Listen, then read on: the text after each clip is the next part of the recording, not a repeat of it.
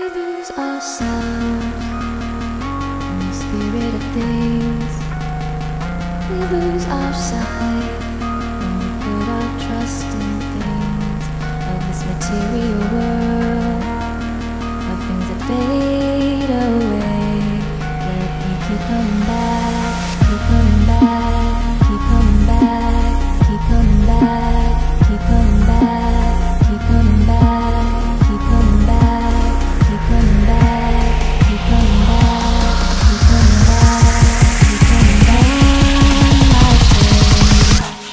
things we know.